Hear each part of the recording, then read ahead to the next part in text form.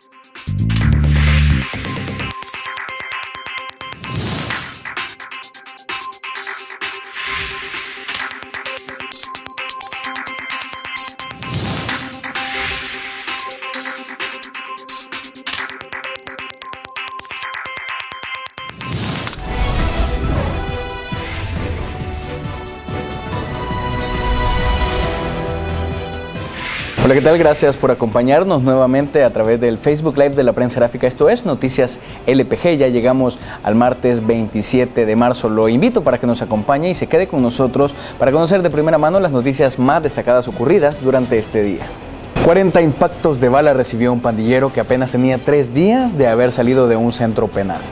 José Henry Guevara Guevara, de 23 años, fue asesinado en una zona rural del municipio de Soyapango, en San Salvador. La fiscalía maneja como primera hipótesis del caso un ajuste de cuentas al interior de la pandilla MS-13, ya que el cuerpo de la víctima presentaba tatuajes alusivos a dicha estructura criminal. ¿Es usted de las personas que solamente ha escuchado hablar de un tal teleférico San Jacinto? Le comento que durante esta Semana Santa usted lo va a poder visitar. Una excursión a la finca San Antonio, donde se encuentra el ex teleférico San Jacinto, ha sido organizada por Armando Urquillo, un apasionado por el turismo alternativo en El Salvador para estos días de vacación de Semana Santa.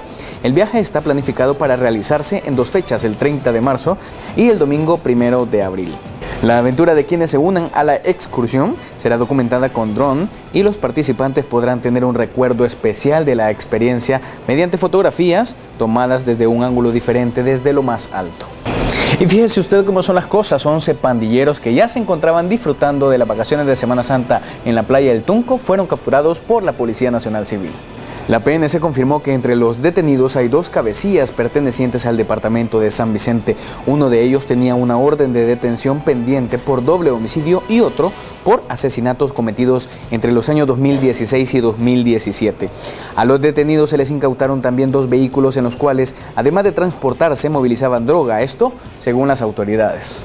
Finalmente hablemos de deportes. La selección de Argentina fue humillada por la selección de España con Lionel Messi en el palco de lujo. España goleó 6 por 1 a Argentina sin Messi, que se cayó de la convocatoria a último minuto debido a varios problemas físicos.